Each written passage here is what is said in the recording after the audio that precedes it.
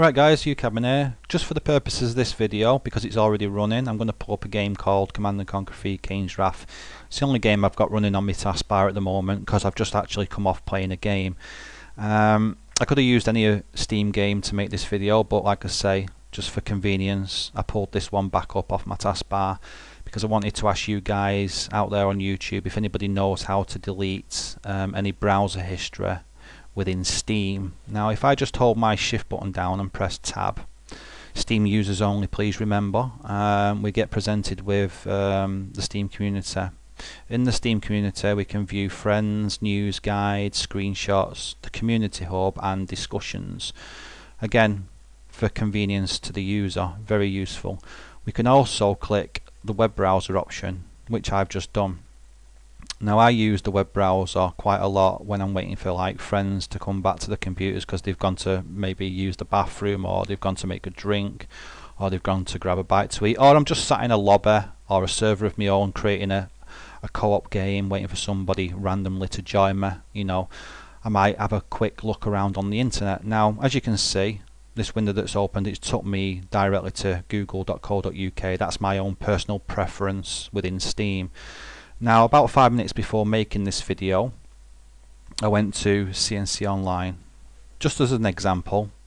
And as you can see here the very first link is still purple. That means I've on it, been on it previously um, or I've been on it before yeah?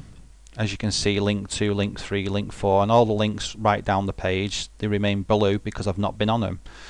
Now what I'm trying to do guys or what I'm trying to ask for help with today if anybody out there on YouTube can help me is I want to clear out the browser history that's uh, integrated into Steam.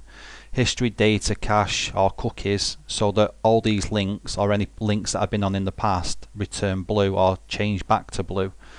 So if you know how to like I say delete or remove any browser history uh, as a Steam user please let me know. Leave a comment below the video. I need to clear it out. I have looked on forums. I've looked on various websites and unfortunately I've not found anything that works.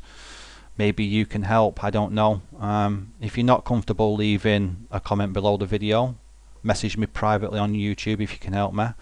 Uh, any help would be very much appreciated uh, from anybody. Um, I really want to clear it out because like I say when I'm sat waiting sometimes or waiting to play with a couple of friends or just random people. We might I might look up but like look stuff up on YouTube you know might watch videos want to clear all that out and uh, start afresh on the web browser.